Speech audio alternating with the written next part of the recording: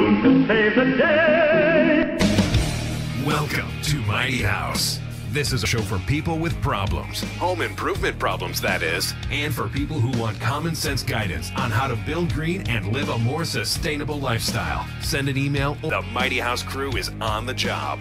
This is Mighty House. All right, we're back. And today we got a little interesting topic. Rich was on a little vacation and has took some snapshot some snapshots of where were you? Venice? In, in, in Venice, particularly.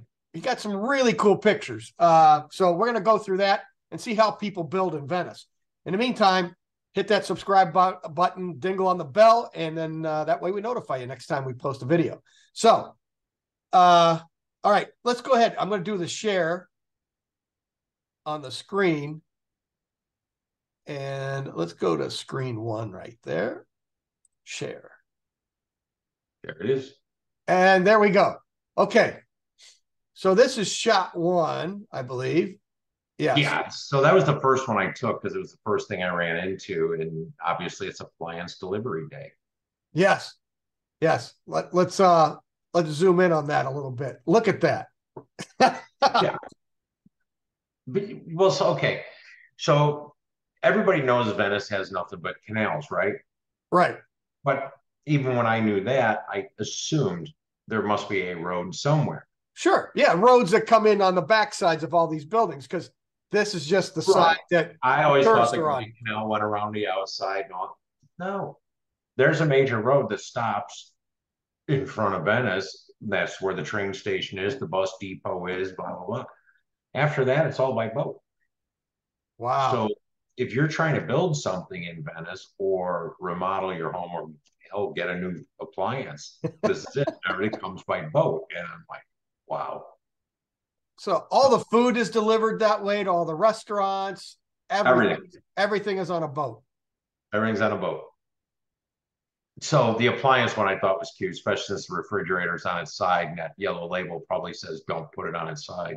Exactly. But you know, how do you ship it on a boat? And the canals are like that water looks nice and s- smooth. Uh-huh. Yeah, it's not. It's usually pretty wavy out there, you know. So okay, so how they get this boat in is this this looks like an archway. So they came in from the left and then yeah. docked up against there. Is that how they did that? Yes. And then the other thing, and I is that people don't realize is that you so that's the bridge to get over this particular canal. Right. You see the little wing wall there? This here, yeah. Yeah, those are probably the stairs that lead to the landing that then goes to the arched bridge. Okay. So your appliances still need to go on a dolly, get drug up the steps, and then over the bridge if you live on the other side, you know, that kind of thing. Like it's not very simple. So then so I have no idea. Like you could get a refrigerator for say 600 euros and delivery is probably 700 euros. you know what I mean? Like I have no idea. I didn't get into the prices. My Italian's not that good. Right. But so, I, we had a blast. So move along. But yeah, show some more pictures because it was just one after another. Some uh, certain times where it was just really funny. So here's a guy who takes, you know, heavier loads. He literally has a crane built into the center of his boat and he spreads his loads around, his loads around. And and a lot of those are actually bottled water, but a lot of them are also like those are it's probably a pallet of tile and then thin set. Okay. So they'll literally put that pallet up on the, the, deck there on the patio, whatever you want to call it, the piazza. Right.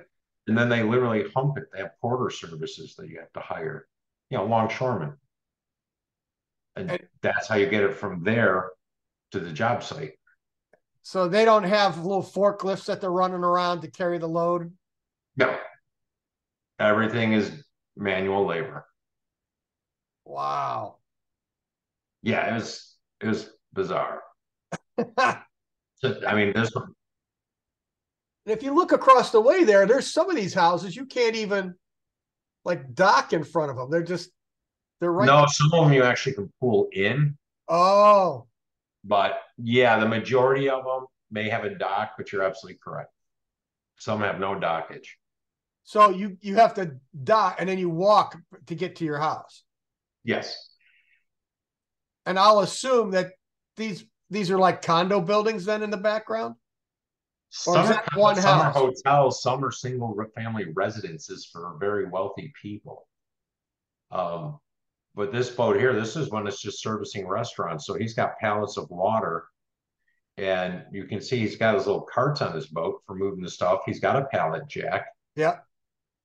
And then you can't see it clearly, but that boat also has that crane so they can lift that whole pallet. They strap it and lift the whole pallet and set it in the boat. Yeah, you get that little orange there. Yeah, that's Yeah. their Interesting. but I was in the way when I was taking this picture, so I had to move along. Excellent. All right. Yeah, just more, you know, restaurant delivery. I mean, I don't know what's in all the boxes, but you see rolls of toilet paper and stuff in the back, and then he's got his carts. I mean, that's how they get it around.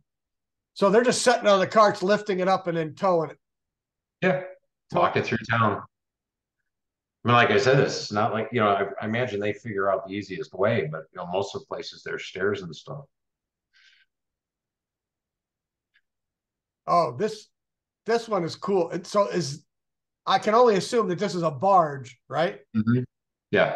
And it's got it's got Well, the barge, because he can haul stuff, right? So he's got a crane that he can load up onto his material onto his barge, whether it's lumber, piles, or whatever. Because remember, the whole city's built on piles. right. But here you got two Oshkosh concrete trucks there you go. to a job. So they're back to back pouring into the hopper. And like our trucks, we typically haul 10 yards. So this would be a 20 yard pour. I mean, I don't know what time you get to work that you gotta, you know, get the trucks on the barge, barge the thing down, rip down the Grand Canal and then start pumping concrete. Very cool. Let's say the new Bauer is coming. Yeah, and the old Bauer, I think, is the statue in the cage behind that sign. Oh, there's no, there's a, right behind that sign. You can see there's a statue there, and they built scaffolding and mesh over it so that nothing fell and hurt him. oh, while they were doing the construction. Yes, and if I remember right, that's just a, it's another hotel, and there's no such thing as a cheap hotel there. Incredible. Yeah. So this was just a photo of a potential client.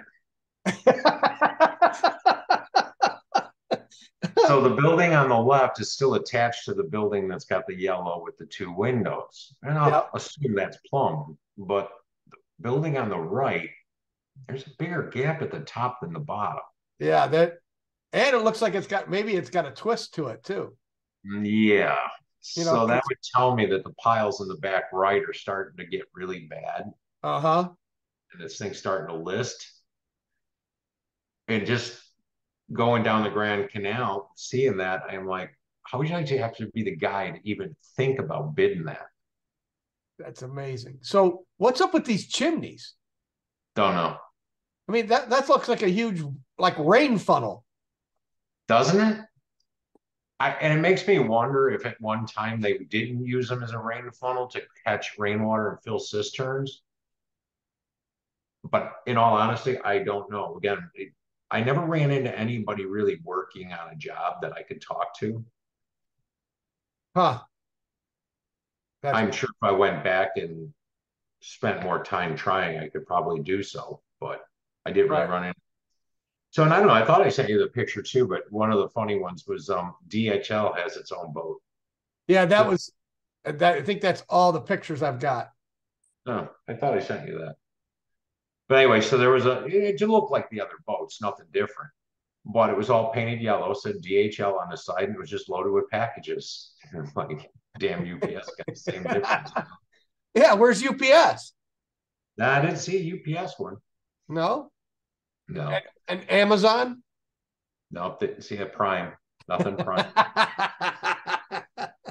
well, that's cool. No, I'll tell you what, Venice was um probably one of the coolest cities I've ever been in, other than that whole the St. Mark's Square and all that or whatever, you know, where the piazza is that everybody goes to and stuff. It's just that's just too crowded. It's beautiful too, but it's just crowded.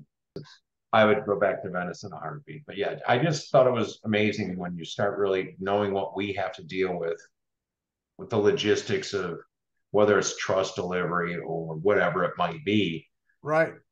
and then just multiply it exponentially because everything comes by boat to some dock over on one side of the of Venice on the island, and it gets has to be transported all around. Yeah. I mean, and then these buildings are hundreds of years old, some of them, right? Oh God, yeah, yeah. I mean, I think they. I mean, Venice was a good port of the the Renaissance, so 1450. So Right. I mean, you're talking 900 years old. Right. That's just They did a pretty good job. I mean, look at look at even in that picture, just some of the carvings over the doors. They're weathering, but it's Yeah. maybe 600 years. Absolutely I never could find anybody to ask, but you notice they all have shutters. Yeah. This, well, and there's no windows. Well, they're not. Well, they do have windows, but those are not decorative shutters. They're all built like heavy duty storm shutters. And I mean, obviously, where I live, we get hurricanes. I've never thought of Venice as getting hurricanes, but they must get some really bad nor'easters or something. Yeah. Yeah. But we were there. It was like Florida hot. We felt right at home. There, It was like 84, 85 every day. right. That's good. That's all right. Well, Yeah, uh, that's my my um my bid on Venice. okay. That's good. So if you're going to take a trip to Venice, you can, uh, you can drop us a note. Rich will give you, uh, some tips on places to go if you want. Uh, so you can leave a note below. All right. So with that, say keep it square and level. Till next time. Until next time.